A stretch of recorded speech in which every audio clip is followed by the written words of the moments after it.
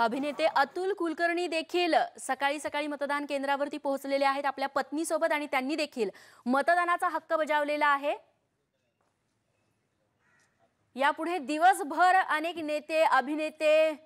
सोबतच सर्वसामान्य नागरिक आहेत ते बाहेर पडणार आहेत. मात्र विलास इथे देखील बघतोयस की पाऊस पाऊस जो आहे त्याची संततधार अधूनमधून कोसळते आहे आणि त्यामुळे या पावसाचा यंदाच्या मतदानावरती किती प्रभाव पडतो हे बघावं लागेल. इकडे मुंबईमध्ये गोपाळ शेट्टी हे खासदार आहेत भाजपचे आणि त्यांनी सुद्धा मतदानाचा हक्क बजावला. रेश्मा तुझ्या पावसाबद्दल बोलत होतीस खरं तर मुंबईकरांना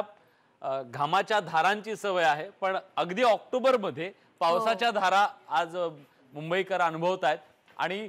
पाऊस आता थांबलेला आहे पण ज्या ठिकाणी वातावरण गारवा आहे वातावरणात त्यामुळे या सकाळी सकाळी अगदी गारव्यामध्ये जाऊन मतदान करून लवकरात लवकर यावं असं सुद्धा काही मुंबईकरांना वाटू गोपाळ शेट्टीने देखील तोच विचार केलेला असेल आणि गोपाळ शेट्टी यांना ज्यांनी टक्कर दिलेली होती त्या उर्मिला मातोंडकर काँग्रेसच्या उमेदवार